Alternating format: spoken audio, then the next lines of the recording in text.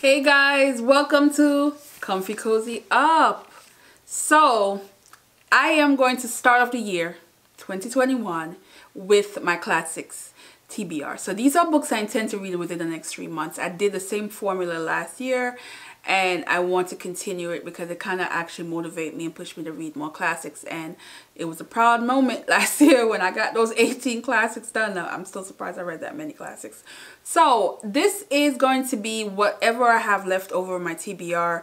I have eight books but in this video it's going to be five that I intend to read um, by the end of March, no later than the beginning of April. And by showcasing these, that if you guys have them on your shelf that's collecting dust or you are per se you interested in reading classics, but you know, you might want to pick up one of these books because they, they do cover different areas because I do like so, a wide selection of classic. I don't like just reading one era. I try to dibby in everything. So none of these books are pre uh, 1900s. So, um, which is surprise, surprise. I do. I only have one, which um, which is a Charles Dickens, but I'm waiting for Charles Dickens within later. I'm gonna take a break because I've read him last month and. I think I need to take a little break before I dive back into his world. So there's nothing prior um, early in that. But these are early 1900s book. So the first book that I'm going to read for February, February, sorry, for January is Rebecca. Now, this is a author that I've heard a lot about. Uh, Daphne du Maurier, du Maurier, Maurier. Um, not sure where she's from because her name looks French, but I'm not sure. We'll find out when I get into reading her because I do like to learn a little bit about the author while I'm reading it. Um, so this is one I'm going to pick up and read in January, but because of the length, I typically read uh, I would say a little longer than normal because I would break it up and I'll read along with the other books that I plan on reading for the month. So if you have this book on your shelf and you know you want to add to your January TBR and we can uh, talk. Let's do it. But this is definitely going to be read in January. So the other books are Harlem Renaissance and some modern classics. So for the Harlem Renaissance, I wanted to read the first woman in the Harlem Renaissance to publish a book and it was published in 1924 and it was I believe right after uh, Cane so I was like okay let's see what she got and this one was um, uh, There's Confusion this was published in 1924 it is a story about three women who are searching for love um, financial stability as well as success. So Harlem Renaissance era, the 20s, maybe probably prior to the 20s that the story was written in. It's probably going to be very interesting what they went through, what they had to do, you know, all these things that came in their way to get to getting what they really want and, and also probably the relationship amongst themselves I know it's going to be interesting. So I was excited to read this. So I'm definitely going to read this soon. Um, and let you guys know. Another Harlem Renaissance gem.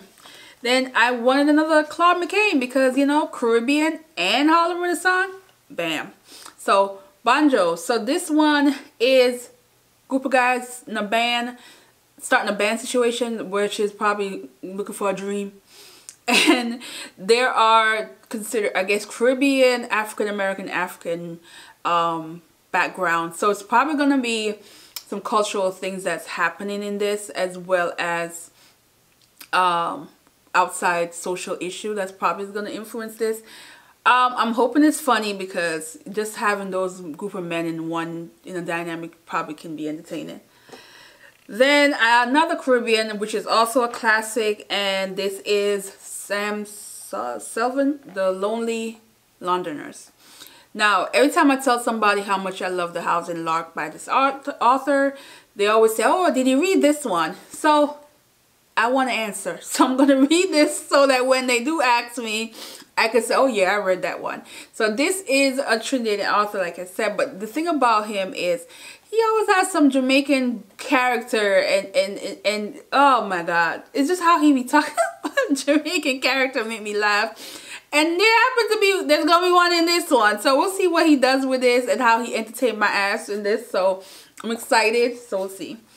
And then for February for sure, it's going to be uh, Notes of a Native Son by my boo, James Baldwin. So this is, um, I guess you would say essay or story, small stories, but they, this is nonfiction. And some of the titles are very interesting. You have, um, you have Many Thousands Gone, Carmen Jones, there's um, The Ghetto, Harlem Ghetto, um, and there's Journey to Atlanta, um, Strangers in the Village.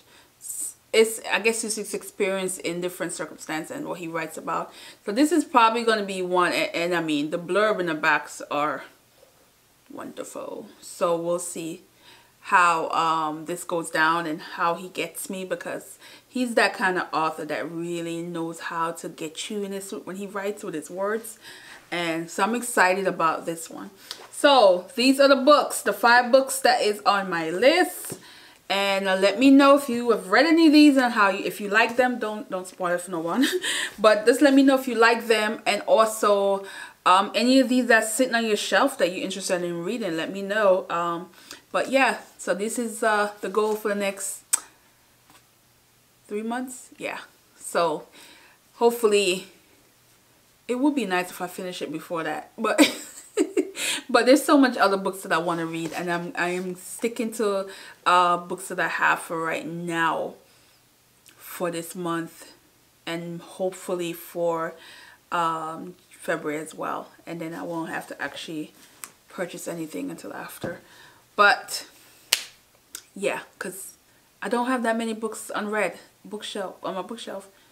And um, there's other things that I intend to do but just watch my next video. Guys my vlog coming up and explain a bunch of other stuff but this is where I'm going to end this video and uh, thanks for watching guys and have a good day